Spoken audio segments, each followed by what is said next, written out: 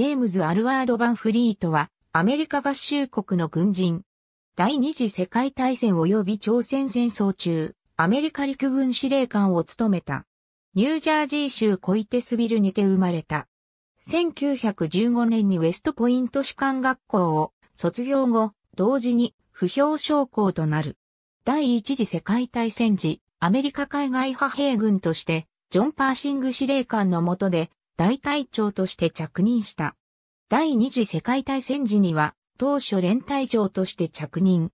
士官として飛び抜けて、優秀な者として知られたが、当時の陸軍参謀総長、ジョージ・マーシャルが彼を、アルコール中毒と間違えたため、昇進はできなかった。アル中はよく似た名のボンフリートで彼は酒は飲まなかった。そのため1944年6月のノルマンディー上陸作戦の際、同期のアイゼンハワーが連合軍最高司令官で大将ブラッドレーが第12軍集団司令官2期後輩のコリンズが第7軍団長であったのに対し、彼はユタビーチ上陸の第一波である第4師団第8連隊長で大佐であった。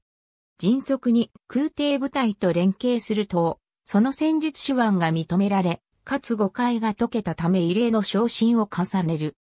3ヶ月ごとに昇進し、第二次世界大戦終戦時は、ジョージ・パットン司令官の下で、中将、第三軍団長であった。1946年バンフリートはギリシャ、軍事援助団長となって、軍を再建し、共産主義者の暴動を沈静化させた。1951年には、朝鮮戦争における国連軍とアメリカ第8軍の司令官、マシューリ・ジウェイの公認司令官となる。数において勝る共産党軍に対抗するため、彼はリジウェイが務めた第8軍の軍事行動の増強を続けた。また、士官教育や軍士官学校の設立など、韓国軍の精鋭化にも努め、韓国軍の父とも呼ばれている。1953年3月31日陸軍を退役。なお1952年4月、朝鮮戦争において空軍将校であった一人息子を失っている。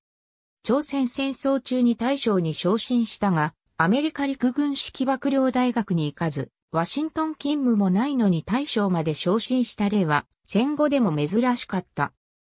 1954年、ウェストポイント士官学校での同期生であると同時に、当時の大統領でもあるドワイト・ディ・アイゼンハワーの特使として、韓国、日本、台湾、フィリピンなどを訪問し、中国、共産主義勢力に対する韓国を中心とした竹島問題を含む動向、懸案をまとめたバンフリート特命報告書を作成した。1992年、フロリダ州ポークシティにて100歳を迎えた数ヶ月後に死去。後にアーリントン国立墓地に埋葬された。ありがとうございます。